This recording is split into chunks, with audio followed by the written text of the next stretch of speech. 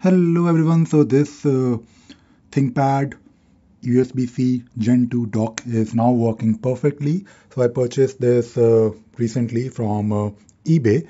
And this dock is of course uh, great, wonderful because now all I need to do, I just need to connect this one USB-C uh, cable which uh, was missing, which I didn't receive, but I sent a message to the seller on eBay and that guy sent me this uh, cable. So I just received this cable and I connected everything. Now it all works wonderfully well. So I just have uh, uh, this USB-C cable going in my laptop and it is uh, charging my laptop. And right now I'm, I'm running, of course, Arch Linux. I checked everything. It is working fine. And uh, earlier when I tried it with a different cable, I was not really able to get the output, but now I am. And uh, this is great. So if I run, uh, let me just try to, let me just try to run the terminal first and I'll show you a few things. So if so by the way, everything is working fine because not only the display but also the audio output is now working, which was not really working earlier. So now uh, if I check in uh, Alsa Mixer, I can see this uh, new entry called ThinkPad USB-C Dock 2 Gen 2 and uh, this is great. The only problem is that when I when I open this, there is no like volume control, so I need to figure it out.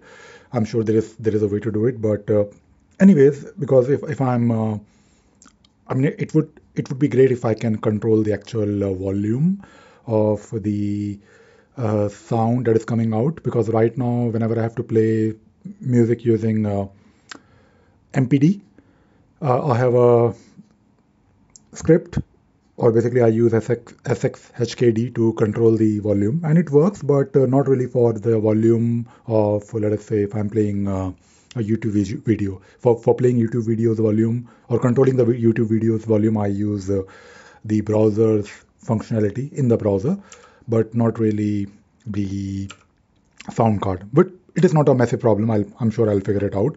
And uh, apart from this if I just uh, try to let me just try to enter into the terminal all right so this is my terminal window and what I wanted to show you is uh, xrandr command and uh, now I have this uh, dp3 which is now getting like it is now getting recognized in my in my operating system so if I show you the backside of the dock so this is my dock uh, and everything is now connected to the dock. So starting with this uh, cable which is coming from, I mean this is basically the computer.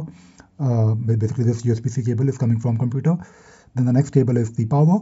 Then I have these two display ports which I am not really not really using like uh, two of them.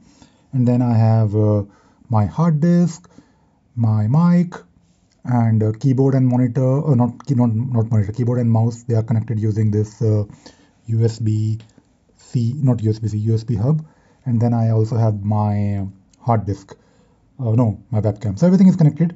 And on the front end side of course I do have few things like I have my mic and I, I do have one extra I, I think this is the only slot or port which is left like in the front there is one USB C and uh, all good. So I think uh, if you're looking for, uh, I mean, if you're using ThinkPad T14 or similar uh, ThinkPads that are supported by ThinkPad dock, ThinkPad uh, USB-C dock, Gen 2 dock, then you should uh, take a look at it because it will actually keep things very simple and neat for you because now I mean, great thing is that it is just one cable, like just literally just one cable, which is uh, doing all the magic.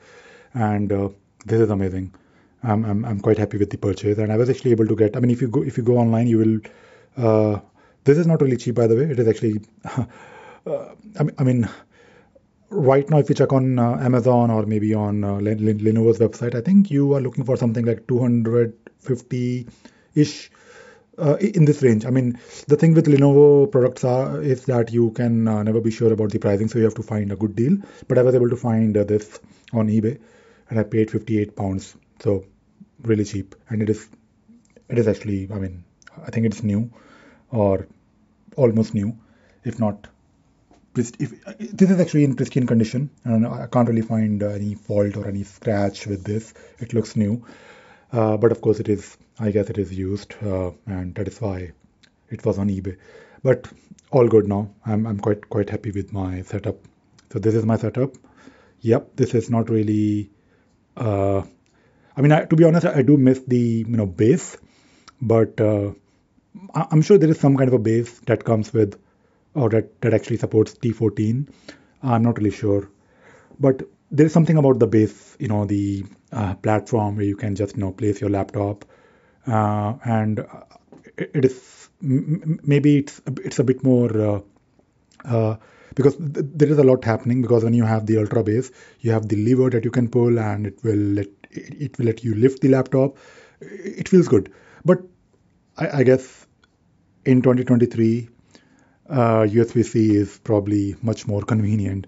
So I'm I'm I'm happy. I'm happy with my purchase and uh, this new setup of mine. So all good, all good now. And uh, I was using this uh, this thing, this USB-C uh, adapter, whatever it is called, and uh, this was earlier used with my Mac, but I, I don't really have any use of it, use for it now. Anyways. So uh, this is all good, and this came with the charger, by the way. So that is also great because I don't, I, won't be using my laptop charger now. I'll probably keep my laptop charger in my bag. In fact, I have uh, X390, so I just need like one charger because, uh, by the way, this will also work with uh, uh this. This also works with X390, or I guess any any laptop with Thunderbolt support. I, I'm not exactly sure about the compatibility, but this works with X390 as well Uh, and also T14. All right, that is it. That is it for today. Thank you. Bye bye.